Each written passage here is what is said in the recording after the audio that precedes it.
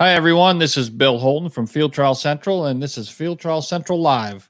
Uh, tonight, we are uh, really lucky to be joined by Rich Robertson out of Idaho.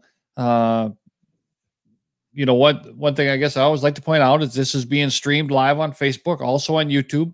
Uh, will also be hosted here for you know for all time. So make sure uh, you share this to your friends and family and and bird dog friends and and and get this type of information spread out to the world. I think this is these discussions have been a lot of fun. They're informative, uh, and uh, I think a lot of people would find them that way. So uh, feel free to make some comments or questions uh, down below, and we will uh, try to address some of them as the as the show goes on. Uh, tonight, Rich is coming to us from Idaho, like I said. Uh, obviously, there's not a lot of introduction that needs to be said. Rich has been around the field trial game for a really, really long time. Well, not really long. That sounds like you're old, but but just quite a while. And uh, you know, kind of a kind of a two career deal, right? He Richie for a long time was running uh, setters and pointers on the all age circuit, uh, traveling the country you know, with really some of the top dogs in the country, some of the top dogs in the history of of the sport.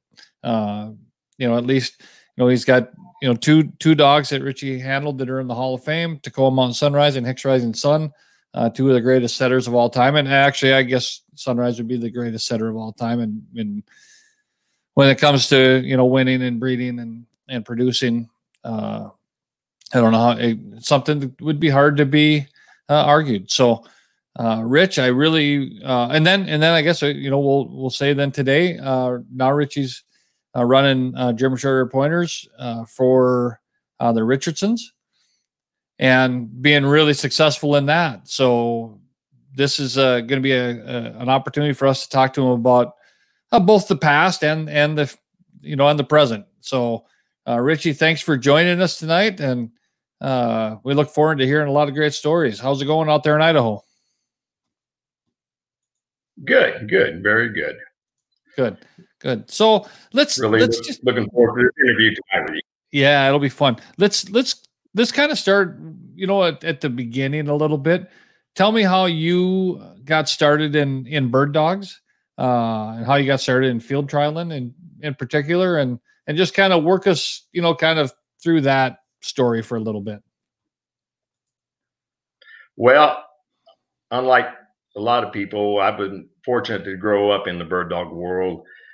I'm second generation, been to field trials my whole entire life. I remember going to them when we were just little tiny kids. And uh, so my dad was big into it. And uh, that's how we get a start. I was running dogs in trials when I was 10, 11, 12 years old.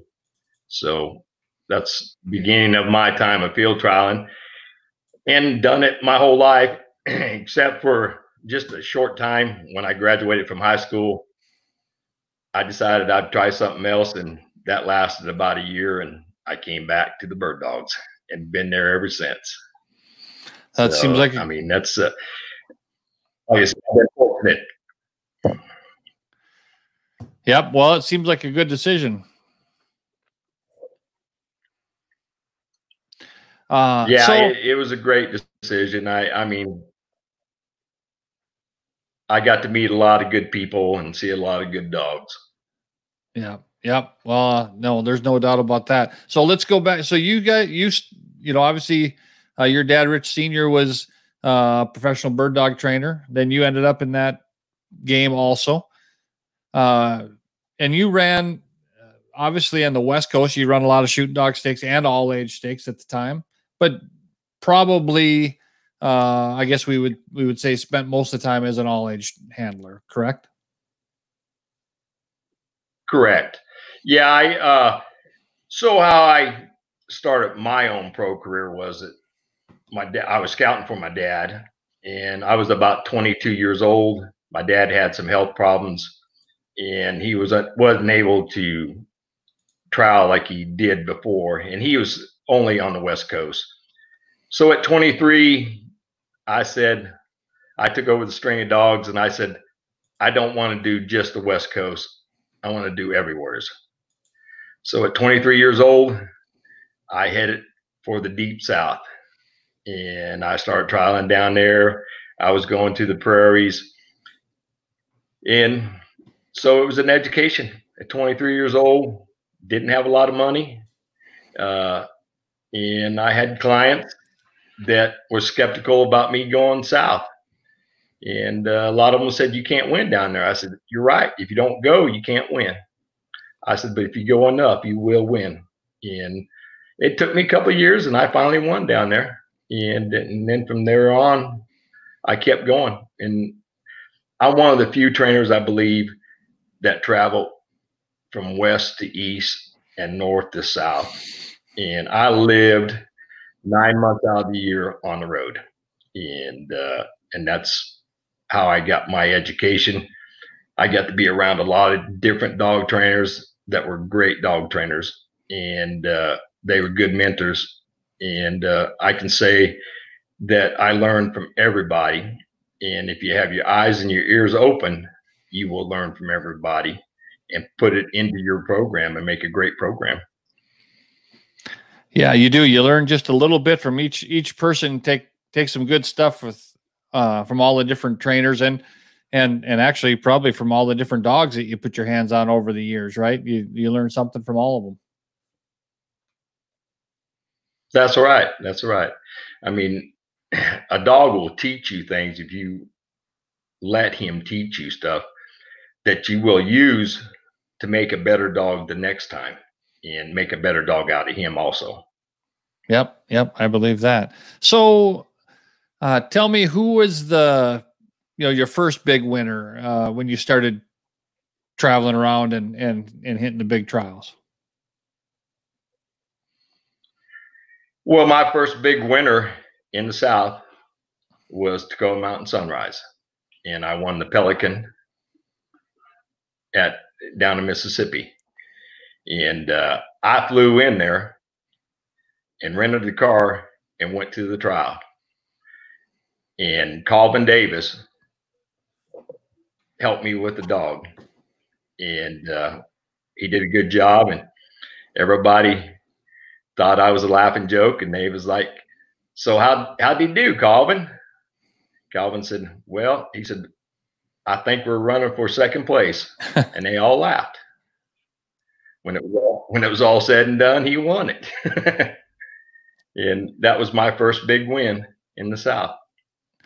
And, you know, and then I started winning a little more. Sunrise also run one in the South at the Continental, correct? Correct. He was runner up. In oh, he's runner up at the Continental. Okay.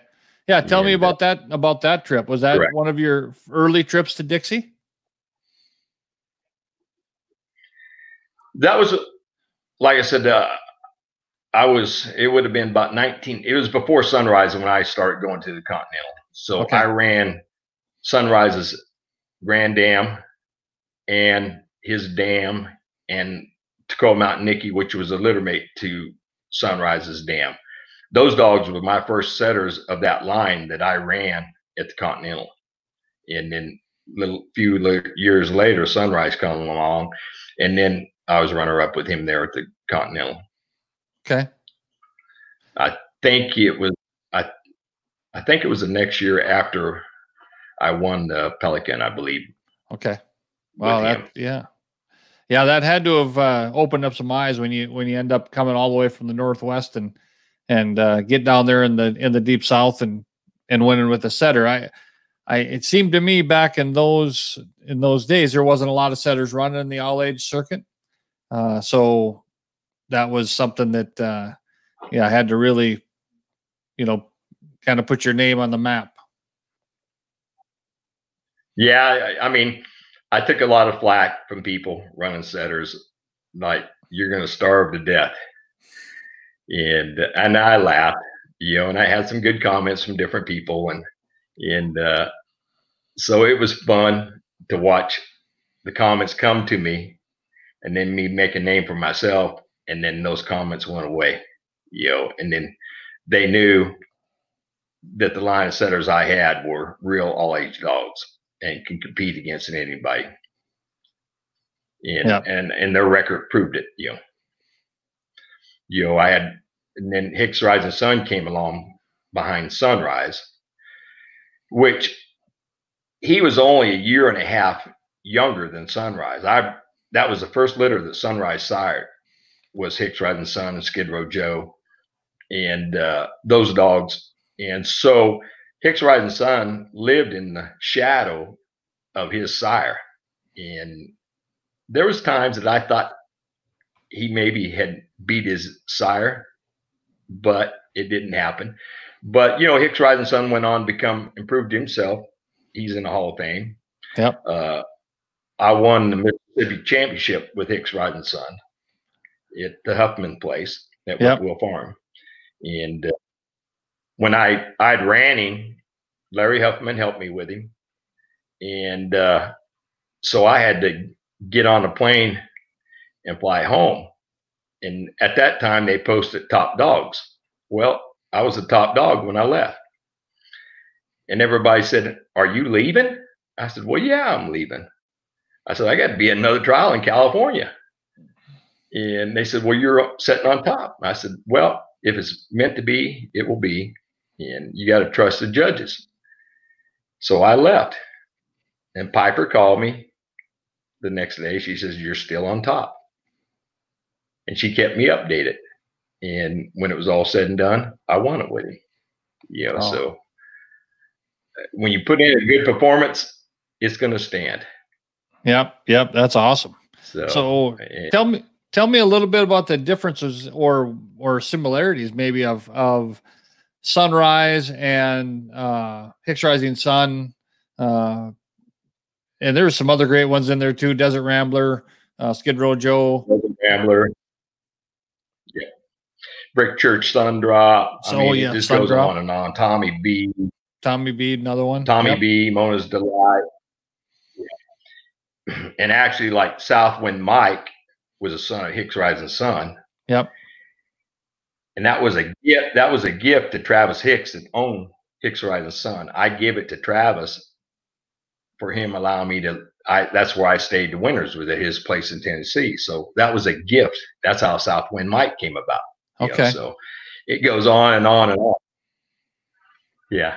Yeah. Well, we we've talked before that. Yeah, you look at setter pedigrees today, and and uh, you you know you go back, you you know they're just it's hard to find one that doesn't isn't built upon some of those bloodlines. Uh, I think Sunrise, you right. know, rightfully so, I guess, was probably the the most bred of the bunch.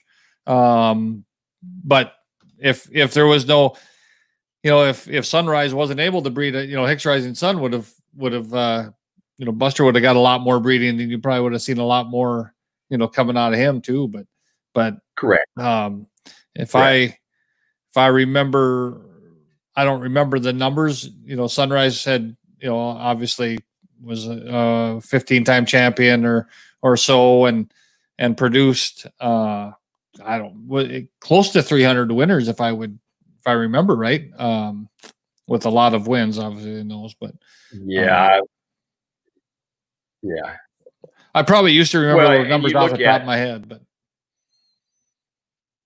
right, me too. but time has gone by. But yep. you know, he uh, he produced all age dogs at a high level and shooting dogs at a high level, and uh, so I mean, he was good for both shooting dogs and all age, you know. And yeah. uh, I don't think his production record in the all age world will probably ever be beat the number of all age dogs that he has produced and the number of championships they have won themselves. So uh, it says a lot about him. But you know, he was a, he passed that trait on in his puppies. You know, easy to handle, find birds and want to do things for you. You asked the question that I've been asked a million times about what's the difference between Hicks Rising Sun and Tekoa Mountain Sunrise.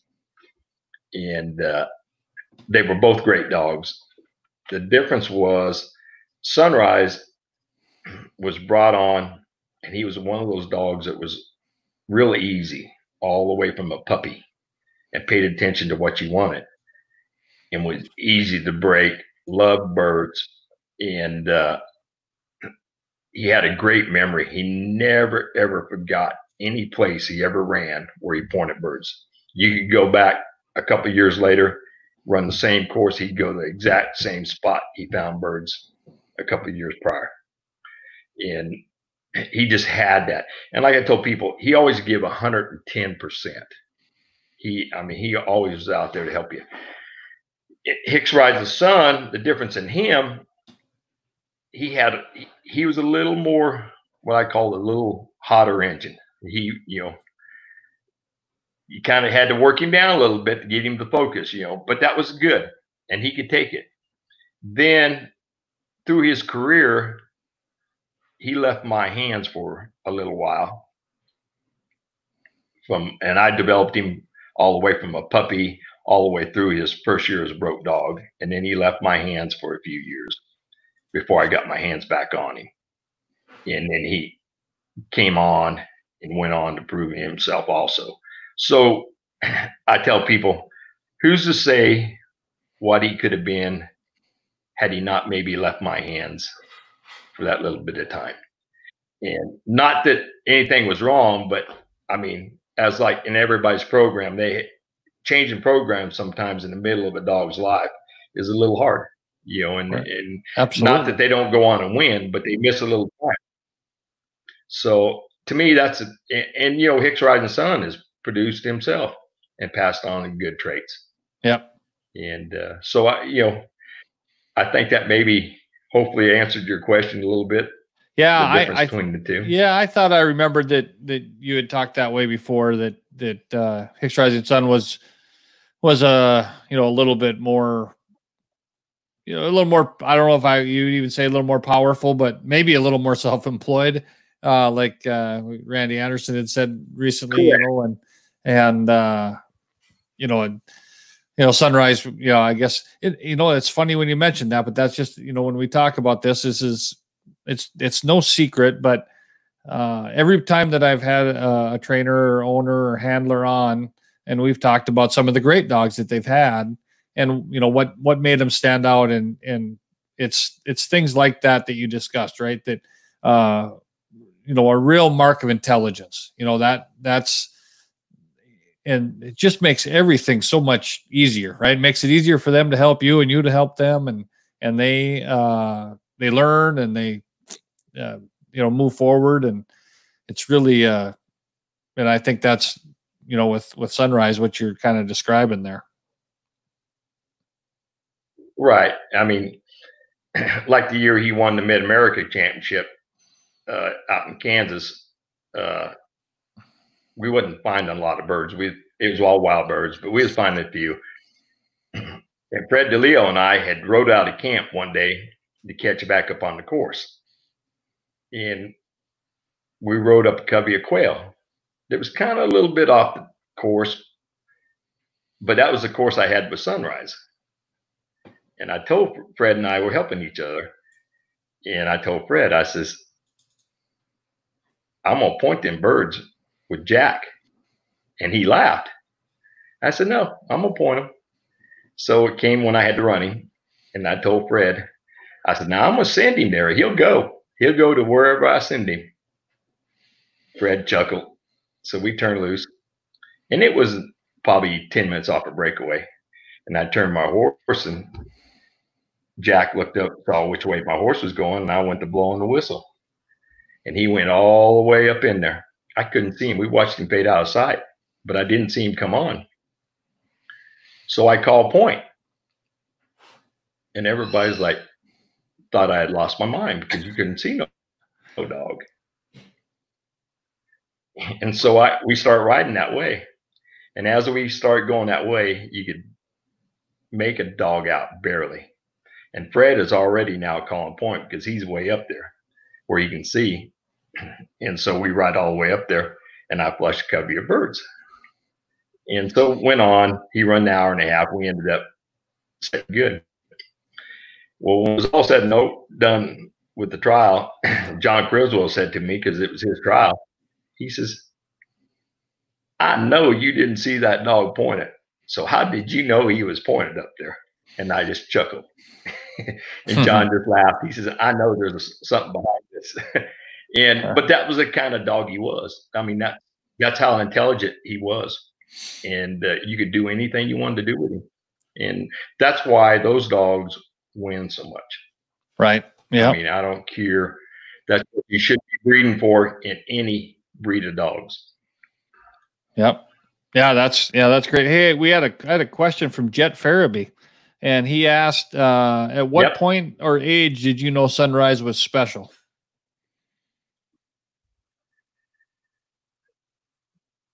Probably when he was like six to eight months old. He just you could see it in him. And he he was a dog that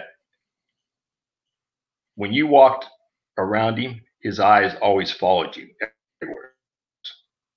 He knew he knew he would read you. And when you see that in a dog, you know that dog's willing to help you.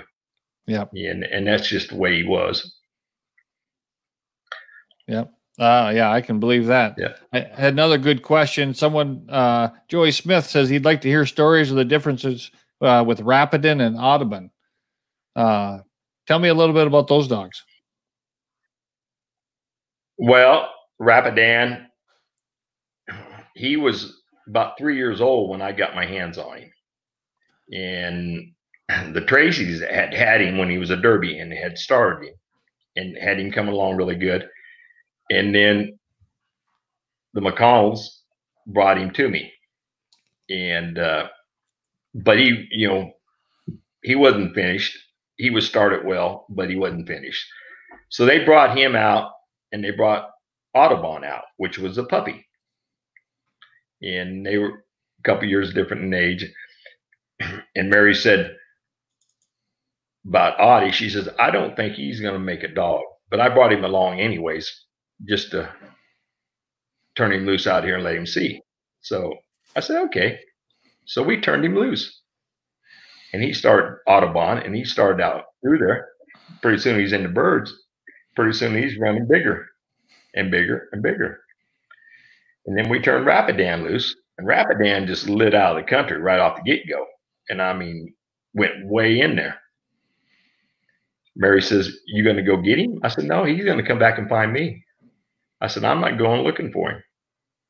She panicked, but he finally he came back and looked for me. So the two back to like sunrise and Hicks rising sun. Rapidan was like Hicks rising sun. He was a little more with a bigger motor and geared up. You know, and would you had to work him a little harder than you did Audubon. Audubon hmm. was a lot like Sunrise. He was a more laid back and built on through his career like Sunrise. And uh, Audubon, I raised him, so he bonded with me, you know, from a puppy, and we had that bond. And Rapidan had a bond with me, but not like the bond I had with Audubon. And that was the difference of raising them. But they were both phenomenal bird dogs, great bird dogs, could run the country. I don't care if it was in the piney woods or the prairies. And uh, Audubon at the Continental, he made the call back there one year, and uh, I ran him in the callback, and I can't remember he had, I think it was five or six lines in the callback, and just not in the callback in uh, qualifying okay. and then came back and call call back and had some more. But he uh, he was just a great bird dog and could run that front end and, and stay with you. And Rapidan also. I mean, Rapidan was probably more built for like the prairies, where Audubon was more built. He'd run the prairies, but he was more comfortable in edge country in piney woods. That's where he was more comfortable at. But the big open vast land, Rapidan loved he loved that kind of country. Yeah. Well, that's great. Those are yeah, that's great stories. Um, so we're going to talk about setters a little bit more, and then we'll move on to some of the great pointers you ran, and then we'll we'll kind of work our way towards uh, the short hairs. But so, tell me about some of the other setters that you saw and maybe you know that you didn't run right. You know that a lot of them came, uh, went back to Sunrise or went back to to Hicks Rising Sun or or some of those other great dogs. There's there's got to be some other ones that you saw run uh, throughout the country uh, that that stood out. Maybe give me some thoughts on some of those. Well, I had a, a setter female during the time when Sunrise was young, and her name was uh, called Miss Mona. Yep. Miss Mona was a shooting dog that I won. Mm, I don't know. I think five championships with her. She was a full litter mate to Grandeur that Harold Ray ran, and so she got bred to Sunrise, and that's what produced Desert Rambler. Okay. But she was a phenomenal dog. She also was bred to Lookout Mickey, which produced Lookout Mona, that produced Tommy B, Tease Gun Runner, all those dogs. But she was unbelievable. She was fun. She was, I could hunt her and Sunrise together. And those two dogs worked so good together as a team. And and they were fun, and she was just phenomenal. I mean, I, I she died at an early age. She got twisted stomach, and uh, we lost her when she was probably about six years old. And uh, so she was phenomenal. And like I said, she was a Smith bred setter, and I loved her. And it worked. You know, the cross with that and Sunrise worked well. Yeah. You know, so you know, I saw that, and uh, but also, you know, growing up as young, my dad had setters, and so I've seen setters my whole entire life that from the old bloodlines, you know, and uh, but today's setters are different than them, you know. So I've seen a lot of great setters. I saw Bozan Mosley, and he was a nice dog. I mean, I seen him do some good jobs. I seen Shadow Bo do some good jobs. Uh, so, I mean, there's different setters out there, but I still very fond of my Tekoa Mountain line. I think they still produce some of the top bird dogs in the country. Yeah. And I still have a couple of direct descendants of Sunrise in my kennel still that I'm breeding still today. Oh, that's great. Yeah, that's that's something. So you are still breeding setters, right? Still breeding a few pointers. Oh yeah. Yeah. Yep. Yep. So uh, no, I I may I may be running another breed, but I still have a love for the setters and the pointers. So. Yep, I I can. That's that'd be hard to get rid of. Uh, I had a question come up. I'm going to say it now before I it it it goes away from me thinking about it. But Keith Heckham uh, had a question. How did you go about working and preparing the Western dogs uh, for Ames? And I would guess that that would say the same as if you're going to Ames or you're going to uh, Dr. Huffman's or you're going to the going to Dixie but Ames maybe more so because it's you know a little slower pace and a little tighter grounds. But correct. Well, you know the thing is, I committed early on in my life to winning in the South, so that meant taking puppies down there when they were little in the winter and having training grounds to train on down south and develop those puppies early on and the good ones will remember that. And you know, so it's not just a short term. Right. It takes several years to acclimate them dogs to that country, and you got to have the grounds and a place to train. And uh, I was fortunate to have some good places to train dogs, and that's you know, you have to work in that country prepare prepare the dog for the Ames. I mean, there's no you can work in the piney woods, and you can get them right, in there, but I still think that edge country has a little different than the piney woods. You know, getting the dog ready for it. Yeah. Yeah. And and and obviously uh we would don't want to we'd be remiss if we didn't mention the you know the great job that Sunrise did at at the national championship and it was that in 19 it seems to me it was 90 but that might be wrong um uh, Bret Hart. Be, it was the year that Dunn's Fearless that, Bud. Won. Yeah, Dunn's Fearless Bud won. But yeah, I, and that's you know obviously Brad Hart got, got a you know he he really you know a, a, real good representation of what Sunrise did in in that three hours, and uh, that was you know really knocked on the door there. I I would I would think that was one that felt pretty right. good. As I mean, felt good as it was going along. Probably didn't feel good at the end, but but but uh, that you knew you were doing a good job. Right, and Hicks Rising Sun put in a good performance there at the Ames also. Okay. So. Yep. And uh, he had a good job there, but I mean, it's a tough place to win. But you know, like I always tell people, if you go there and finish the three hours and do a good job, even if you don't win, be happy with your dog because there's not many dogs that can do that.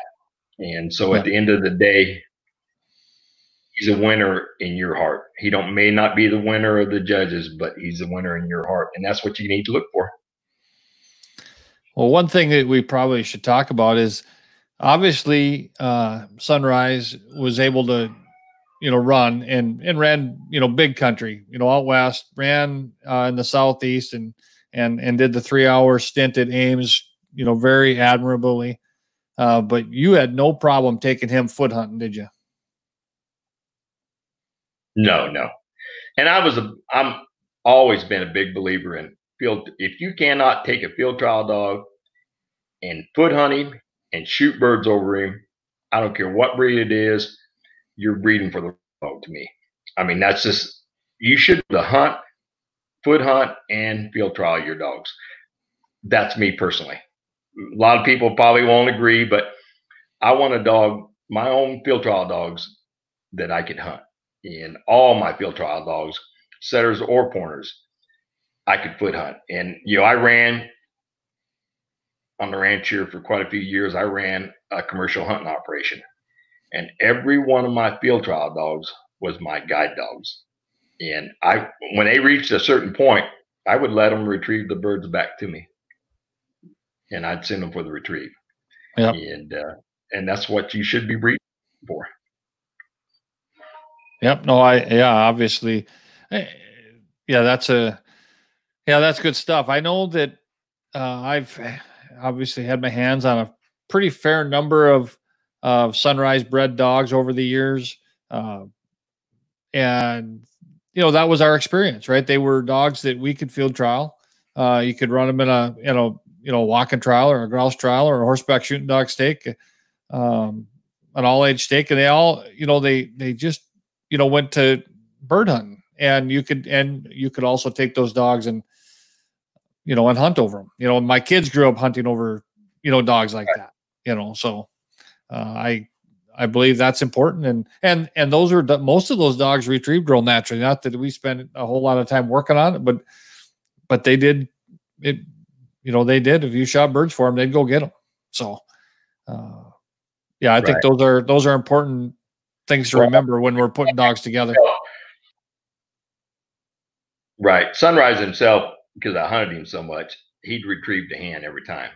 So if you if you didn't hit the bird and it didn't fold, he'd stand there. But if that you hit that bird and it folded, he was leaving there.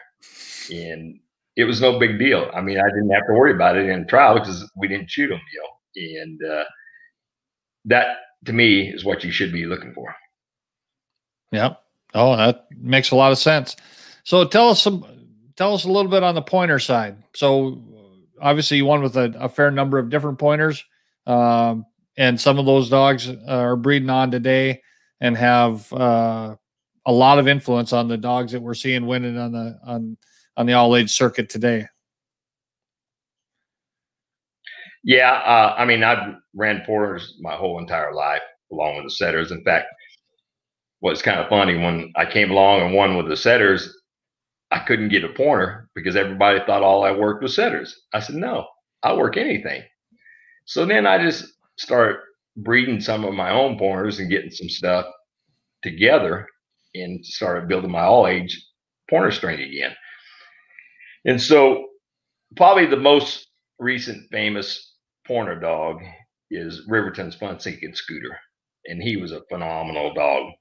And uh, so his mother was a, a, great trial dog too. I got her when she was like four, four years old in her career, and uh, brought her along, got her broke, and won with her uh, qualifier for Ames. She, you know, was just a nice dog, and so Fred DeLeo and I were very good friends, and I'd helped him a bunch over the years. So I helped him that year that he won with Fun Seekers Rebel. And so I told Fred, I says, and this was before he won. I told Fred, I says, I want to breed Riverton's Black Eyed Pea to Fun Seeker Rebel. He said, perfect, because Fred loved her. And uh, Fred says, I'll take a puppy. I said, not a problem. So we made the mating, and then that's what produced Riverton's Fun Seeking Scooter, Youngstown Thrill Seeker, Rebels Debutante. All three of those dogs were out of the same litter, and they all competed and won on the major circuit. Now, Scooter himself has produced and bred to a female that Tracy Haynes had that produced uh, just a resistible fun seeking hitman. And then those dogs themselves has produced on. And then he also was produced Dominators Rebel Heir. So, and he's produced other winners out of other matings. And so his production record is pretty good and is passed on. I mean, and a lot of people talk about Fun Seeker Rebel, but I also tell people, I says, you guys talk about him, and he was a great dog. But you got to remember that female was part of it too. And she was a great female. And Fred DeLeo saw that himself, and he knew how great those dogs were going to be. And that's why he wanted a puppy.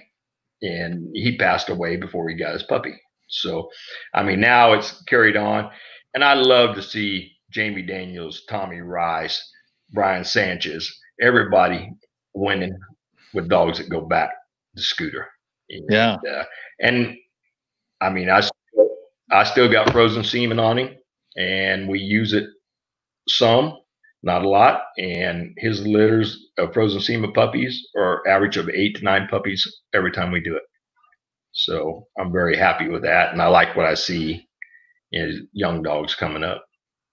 Yeah, well, that's great. Yeah, I know that. Uh, yeah, scooters had a big, a big impact on these dogs yeah, like you said, you know, Jamie's kennel and and Tommy Rice's and a number of other, you know, amateurs and pros that that have been winning with those those you know what I guess those rebel dogs, but coming right through scooter. So um yeah, that's right. that's and and if uh, Riverton's Black Pea, that was a dog you bred also. You you raised her.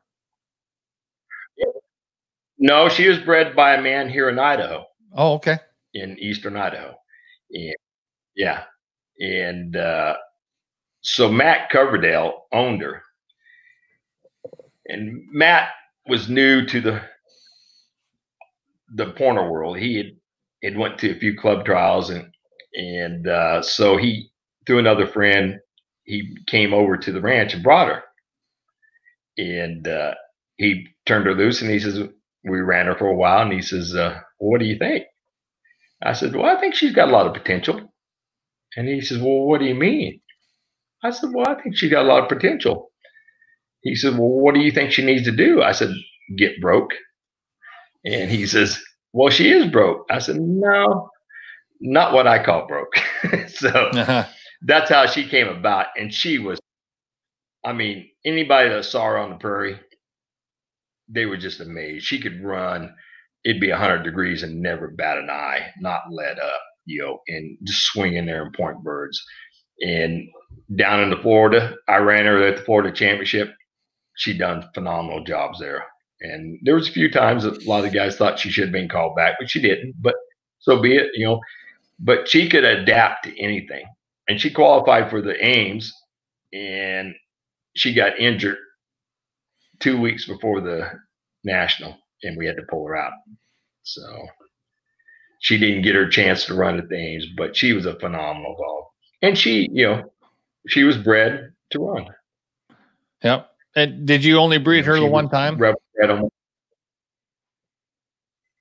Uh, no, we repeated that breeding twice. You did okay. And uh, so the second time around had some winners in it, but they didn't have, you know, I, I mean, I didn't. I got to keep one for a while, and then the guy he couldn't go on with her, and I placed her on the prairie, and uh, she actually ended up in Judd Carlton's hands, is where he okay. ended up with her.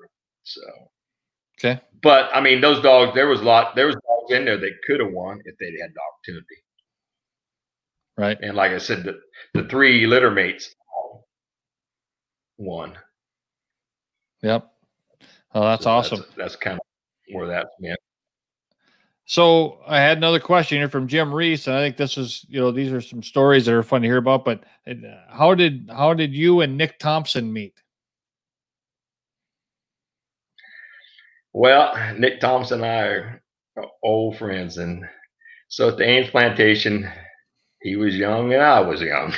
he came there looking to shoe horses, and uh, he was standing around there. He was new. Nobody knew who he was. And so we kind of struck, struck up a conversation and uh, I found out he was a horseshoer. And I said, well, I need some horses shod. So I said, can you do them? He says, yeah. So he ended up doing them. Well, as time went by, he started, everybody else started using him at the trials. A little more time got by. He started hanging out at Larry Huffman's because he lived down the road. And uh, so he'd go with Larry when Larry was working dogs and try to figure out the dog game. And and he was a hunter and stuff, but it was a different world. And so we got to hanging out a lot more together. So finally, I don't remember what dog it was or what trial it was. I said, Nick, you got to scout a dog for me. He says, I can't do that. I said, Yeah, you can. He said, No, I can't. He said, I don't know what I'm doing. I said, That's all right. We'll work through it. And uh, so that's how he got his start helping Larry Huffman and I. And uh, he scouted some for Larry and then he scouted for me. And as times went on, he's become a phenomenal dog person, you know, in high demand. But there's no better person than Nick Thompson. I mean, he is just as genuine as they come. And uh, I'm glad to call him as one of my very good friends.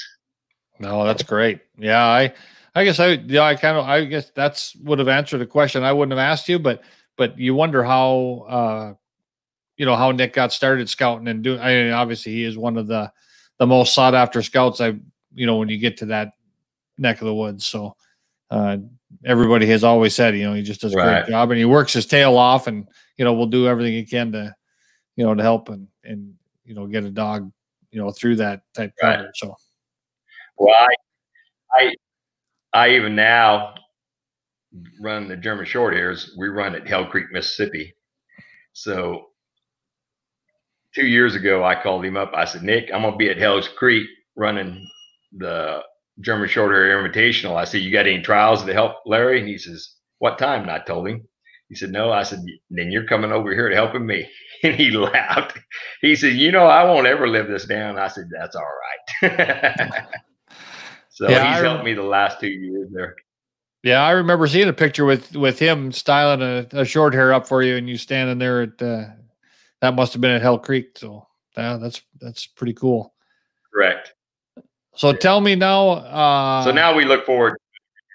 Yep. Tell me now how we how we got from to the end of end of a. I I remember hearing the the comment that you were retiring um, it appears you failed at that. So uh, tell us kind of yes. where, how we got to where we are today. Well, we uh, so I don't know. I think it's been seven years, maybe eight. I lose track of time. Sold the ranch to the Richardsons, Keith and Bobby Richardson, and they bought it for a place to work dogs. And uh, so I said, Oh, I'll still watch it for you. And I was still trialing.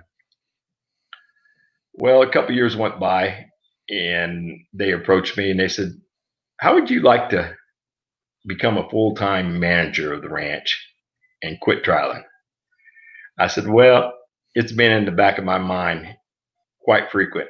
I said, it's getting harder. I'm getting older, and I miss a lot of my children's life.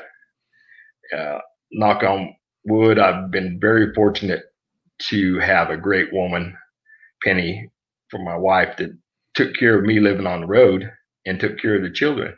And I looked up and I saw my grandchildren almost grown. And I'm like, life is going by. You need to do something. And so I took the job as a full time job as manager. So that was all good. My wife quit work. We were enjoying life. And uh, I think three years went by, and uh, the Richardsons had a change in their training program. And I said, uh, Don't worry, I'll help you out till you get somebody else new. Well, now we're three years into it. and so that's where that's at. But I told him I would not do it unless my wife would not agree to go with me. I would not do it. But if she agrees to go with me, I'll do it. I said, we spent a whole life apart and I'm not doing that no more. And so we travel, compete in their German short hairs.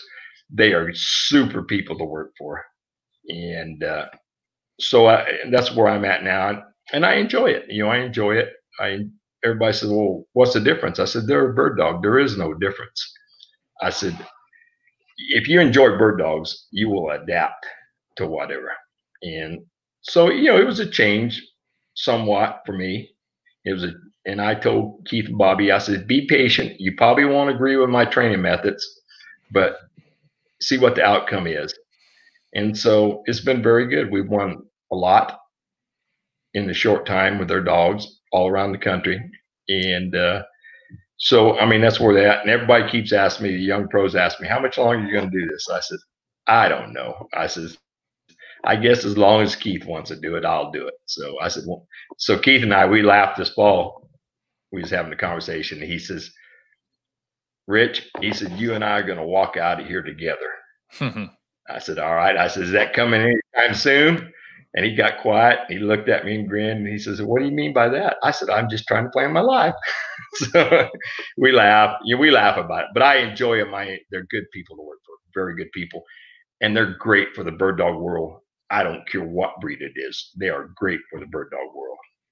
And, and a lot of people that know them now, they all agree with that also. Yeah, yeah, I've heard great stuff. Um, so tell me a little how your schedule goes. So I train right here at the ranch all summer long, and uh, we start the first of September in Baker, Montana, and we run there. We're there for about a week or so. Then we go from there to uh, Nebraska to the Sandhills and run there. That lasts about seven days and then we go to Cheyenne, Wyoming to their home place and they have trials there. And we're there for almost two weeks because they have a whole slate of trials. I go home for two weeks and then back to the ranch with the dogs and train. And then I leave and go drive all the way to Maryland and compete in Maryland.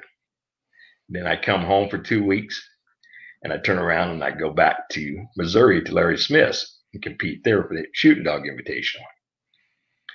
And then I come back home again and uh, train a little bit, and then I leave right after Christmas, and I go to uh, Mississippi, and then I go to Ardmore, Oklahoma, and then I come home, and then I take the month of February off, and then we start back up the first of March and our first trial is that we run in is national at Grove Springs, Missouri. And then we get done with there, hot foot at home and start here in Idaho, and we wrap up here the first of May. So that's kind of the everybody yep. says, I thought you slowed down. I said, No, I really haven't. No. so last yeah. year I probably in that state of time, I put fifty thousand miles on a rig driving. Yep. So uh, so you mentioned that you go to uh, Grove or to Larry Smith and run the Shooting Dog Invitational. Now, are these all uh, NG uh, SPA trials that you're running SPA. in? Yep. Correct. Okay. Right. And some of them, some of them are dual, dual with AKC and that. So okay. some of the trials were required to retrieve in. So okay. Okay. In, in, trials. And are you running? Yeah. I, I think you already answered the question, uh, but you're running both open, are both uh, shooting dogs and all age dogs in the with the short hairs? Correct. Their main focus is all age. It that's is. their love. The Richardsons, age, which for me, yes, that's their love is all age dogs. Okay. They have a few shooting dogs, but their love is all age, so it's fitting with me. You know, I that's what I like, and uh, so I've showed them the type of all age dogs that I ran and what we should be looking for. And we're all in agreement now. You know, this is what we should be looking for. That an all age dog can run big, but he still needs to come and go with you and pay attention to where you're at and, you know, find birds. So, it, it, you know, it's been a great education for them to see my world changed over to their world. And I, and I think they understand it and they like it and you know the people around the the trials now at first they was a little reluctant but now they're accepted me and they all say wow we enjoy the type of dog you put down on the ground now. So that's that's what it should be about.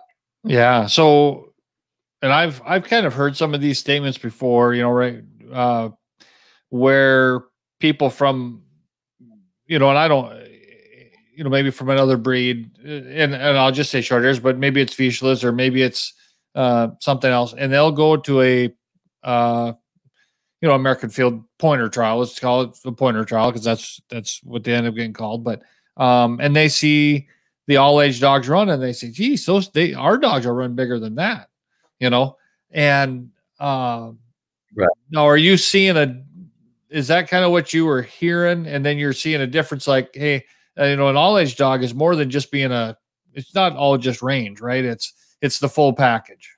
And is that kind of the changes that you've seen Correct. that you've got, you've been making?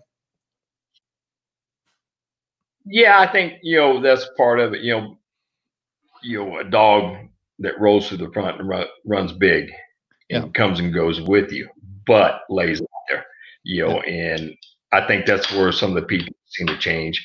You know, and what's been good because a lot of the uh, people from the American Field has judged some of the short hair trials in all age state, and they said, "Wow, I never expected these short hairs to run like this." You know, so it's been kind of an eye opener to a few people too. I said, "Oh yeah, they can run," but you know, it's a different. There, everybody asked me, "Is there a difference between pointers and setters and German short hairs?" Yeah, there is. I mean, they're physically different types, you know, but there's some German short hairs that are just phenomenal on the ground and can run big and run through the country, you know. And uh, so, you know, the Richardsons, they like, they have their line of dogs that they breed. They breed all their dogs, and and that's what they want to do. And uh, so, you know, it's fun to be part of that program with them. Yeah, I bet it is. Uh, is on the short hair side, is there any endurance stakes that you're running in that are, you know, more than oh, yeah. an hour that are, you yeah, know, 90 our, minutes or two our, hours? Our, right. Two years ago, they started the all age invitational there at Hell Creek. So uh, Keith built the format for it and got a lot of input from different people and not just in the short hair world from everybody so there, we run one hour one day, one hour the next day, and then what they call back has to come back for an hour and a half. Okay. That's the only true endurance stake in their sport, and that separates the big separation, and that's that's what he wanted to do, and uh, that's a goal. And at first, a lot of people were a little reluctant, but now they see if you're going to look for an all age dog, that's where you need to look for one because that's where you're going to get them. So that that's their true endurance state.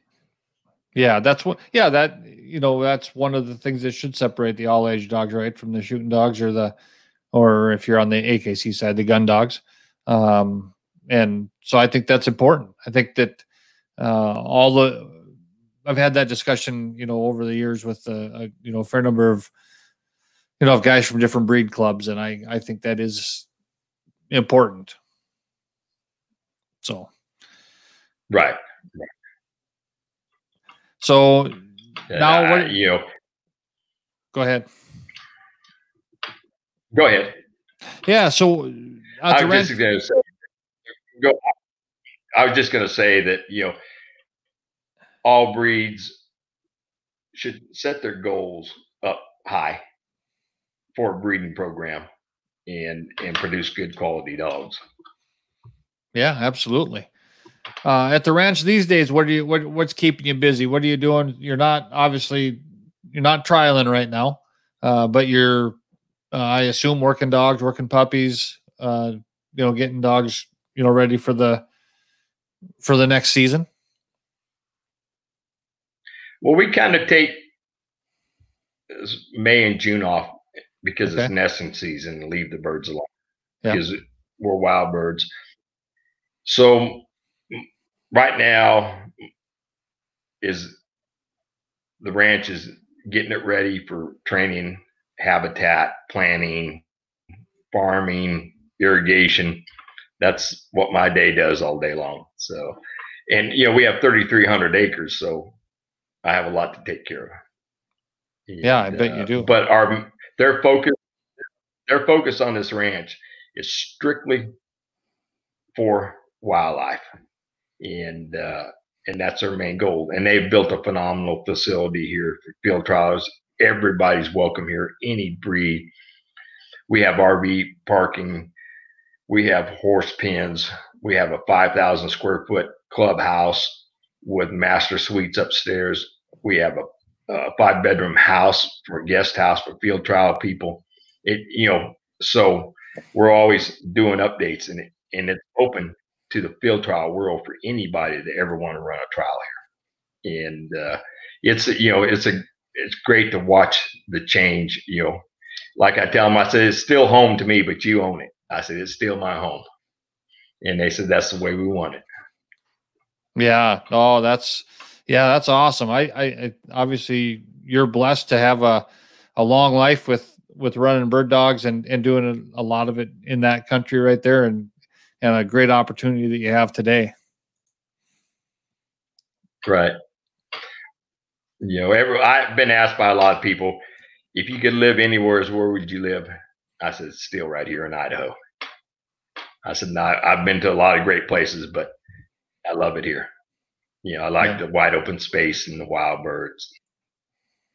Yeah, I can I can believe that. Hey, we got we got uh, one of our you know, good friends here made a comment that I thought we better better put up here. Uh, Jamie Daniels, uh, and and you know these are these are the kind of comments that come in all day long, right? Uh, Jamie says one of the greatest men I've ever known. Pay attention, one of the great, in my mind, one of the greats. So uh, I think that's that's you know pretty well uh, respected uh, around the country.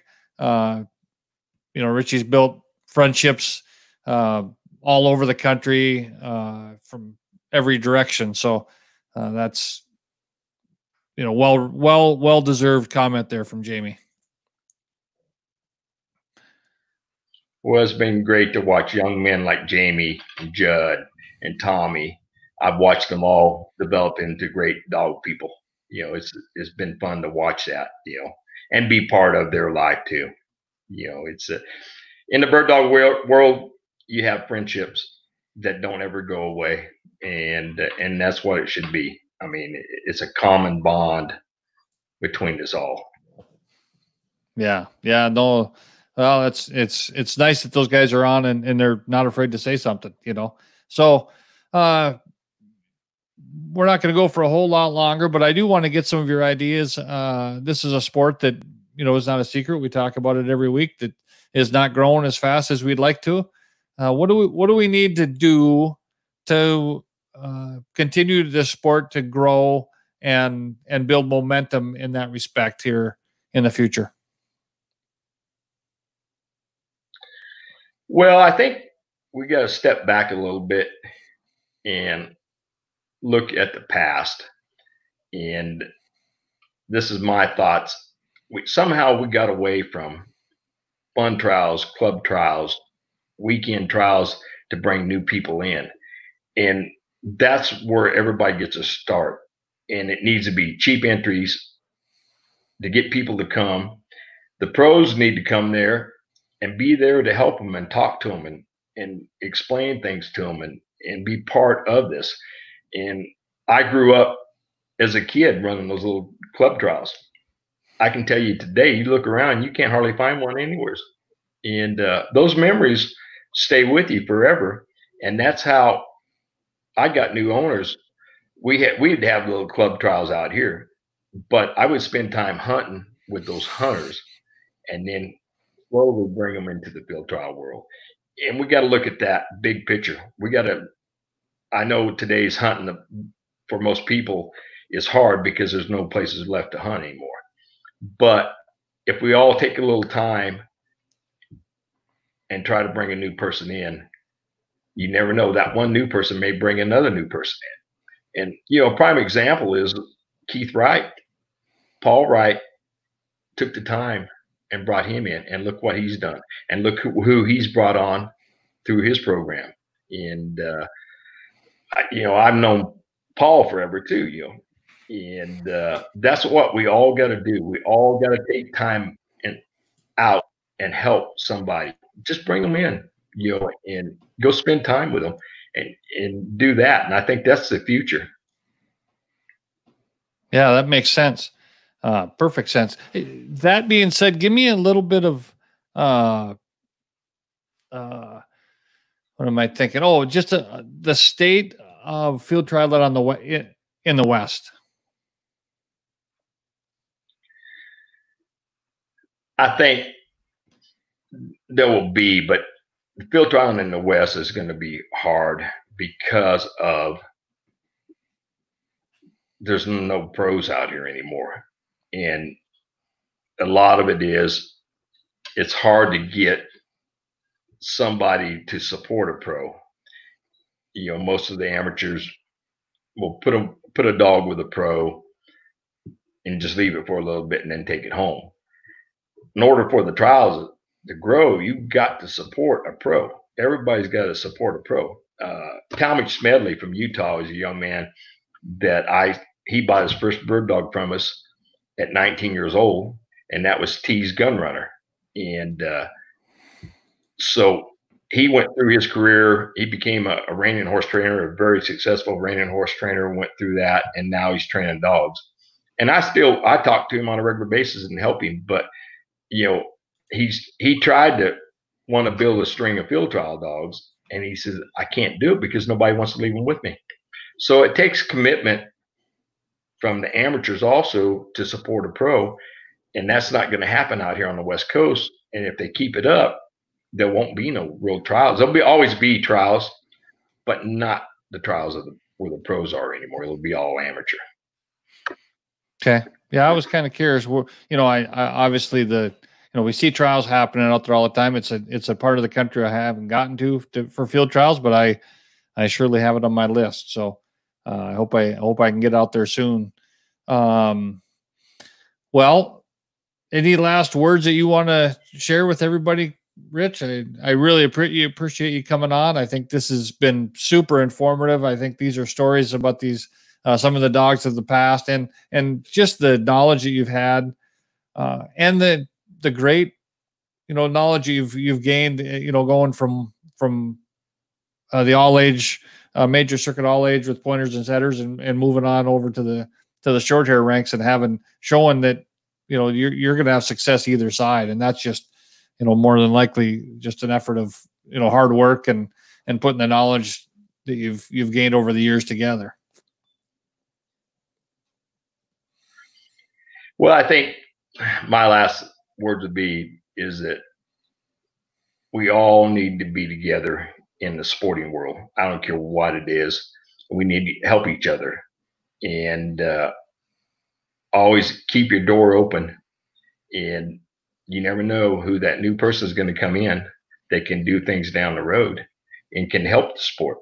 And uh, I mean, in my life, I've met a lot of great people and have a lot of good friends. And the dog world has been great to me. And I think if we we all go out there and go hunting and be with people we like to enjoy the outdoors with, that's the future of this whole sport.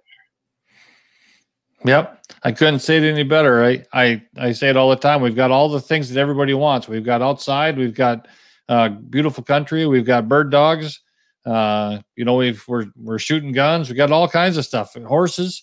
Uh, there's, there's, there's no reason why this sport shouldn't continue to, to move forward and grow uh, because we have so much to offer.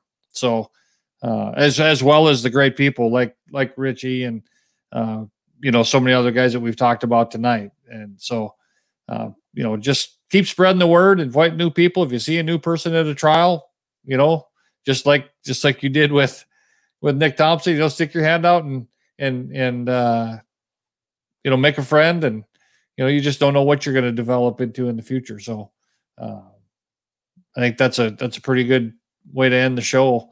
Uh, once again, Rich, I really appreciate you coming on. Uh, everybody else, remember, uh, share this out there, share it on YouTube, share it on Facebook. Um, make sure these things are, are getting seen. Uh, and and if you like what we're doing, I, I'm here. You know, obviously, I'm hearing a lot of great comments from all over the country of people enjoying the show. So we're going to keep doing them. Uh, I do them because I like to talk about bird dogs, and I like to talk about the, you know, friends like like Richie and and glean a little bit of knowledge and and get some history that you know we can get recorded to you know stay here for all time. So uh, everybody, you know, have a great night. Uh, have a super weekend. We'll uh, we'll try to be back next week with another show. I, obviously we had two this week, but we missed last week. Uh, everybody gets busy this this time of year here in in farm country. So uh, hopefully next week we'll be back with another great show. Rich, thanks for coming on. And uh, everybody have a great night. Well, thank you, Bill. Thank you, Bill. You keep up the good work. This is great.